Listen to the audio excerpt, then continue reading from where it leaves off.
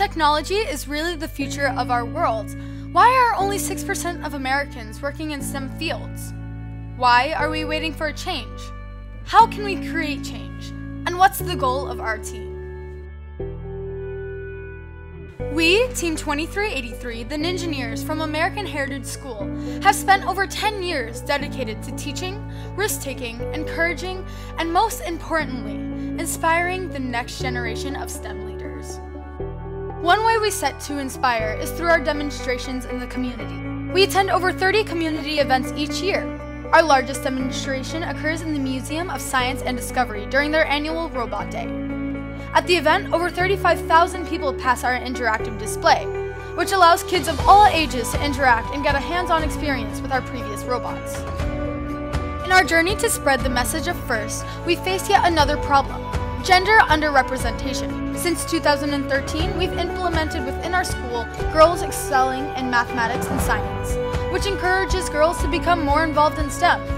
During this off-season, we held multiple workshops specifically for girls interested in the STEM field.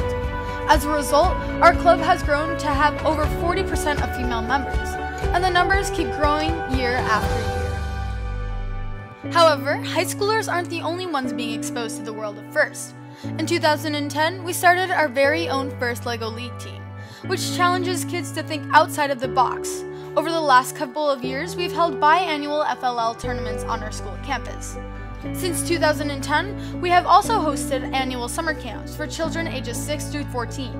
The camp has two stages, one specialized in FLL, introducing younger children to STEM and robotics, and FRC, to reinforce these values and help them apply it to the real world. Under the guidance of student mentors, children around the world learn the basics of coding, part assembly, and teamwork, which is then integrated into our FRC team through our unique and efficient team structure. Team 2383 is very much involved in our community by choice. We ask them to volunteer and they happily show up for all of our open houses, all of our extra activities. They all do a lot of community service and when they actually compete in competitions, they are very, very good at building relationships and helping out other teams uh, through the competitions. Um, whenever asked, they, they give more than, than is asked of them and they do it with a smile because they love what they're doing. So, you figured it out. Our goal is simple. We want to inspire and pave the way for a new and diverse group of thinkers.